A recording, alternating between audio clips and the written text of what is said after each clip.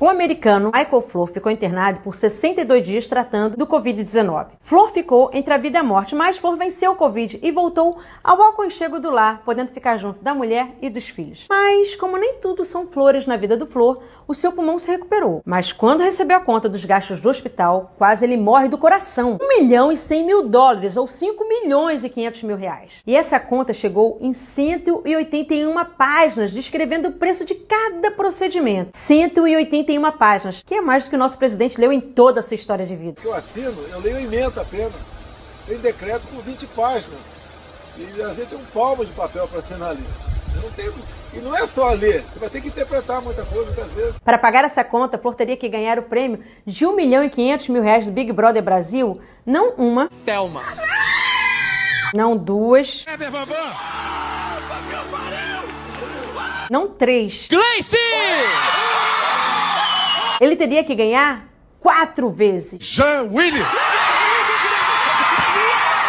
Flor teria que juntar o valor de mais de 9.100 auxílios emergenciais para pagar os gastos da sua emergência. O americano se sentiu culpado por estar vivo e, durante o tratamento, suspeitando que a conta seria alta demais, ele desejou morrer. Isso tudo no país mais rico do mundo, os Estados Unidos da América. He doesn't follow the politically correctly.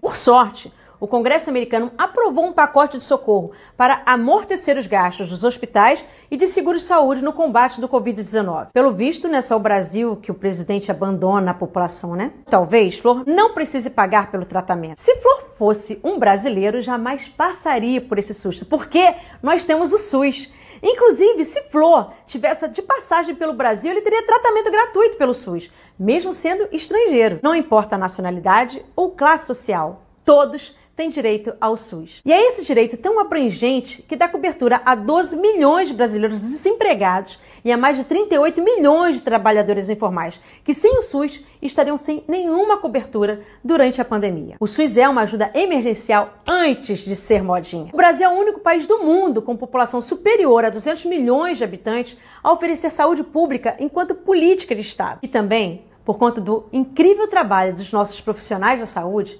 Somos referência mundial no tratamento da AIDS e do câncer. E se isso não toca o seu coração, o SUS toca, pois somos referência no transplante de órgãos também. Se você recebesse uma conta hospitalar estratosférica dos Estados Unidos e seu coração não aguentasse, o SUS te daria um coração novinho. E o SUS está em mais lugares do que você pode imaginar. Quando a sua cabeça coça, mais do que a cabeça do Whitson quando escuta a palavra impeachment, você lava sua cabeça com shampoo. E o SUS está lá, pois ele controla a viabilidade do uso dos cosméticos. Quando você vai à feira comprar mais laranja do que a família Bolsonaro, o SUS está lá pois ele controla a qualidade das frutas e verduras através da vigilância sanitária. Assim, você pode usufruir de uma laranja de ótima qualidade quando você quiser, diferente das laranjas Queiroz, que são de péssima qualidade e depois de compradas podem desaparecer por um ano.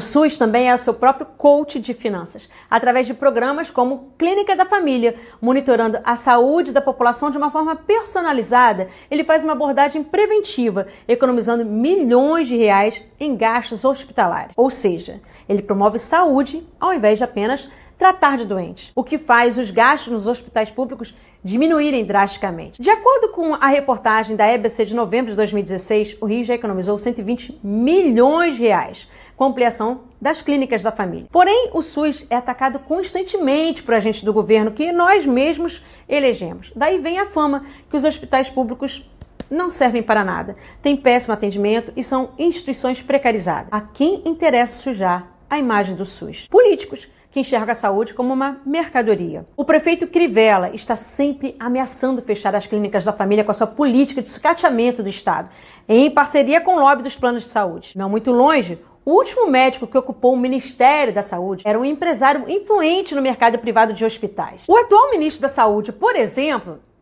desculpa, eu não tenho nada que falar porque não temos um ministro da Saúde. Se isso não é um desprezo pela sua saúde, olha, eu não sei mais o que é. Porém, nós temos nas mãos o poder de mudar, votando em candidatos e candidatas que defendem o SUS e mais do que apenas defender, que querem ampliar e melhorar os programas que o SUS nos proporciona. Assim, Como gentileza, amor ao próximo e consciência social, o SUS também é de graça. Defenda o SUS e vote em pessoas que têm esse compromisso. Compartilhe esse vídeo com o máximo de pessoas que você conhecer. Vamos espalhar essa informação, mais que os recursos que realmente deveriam ser investidos na nossa saúde.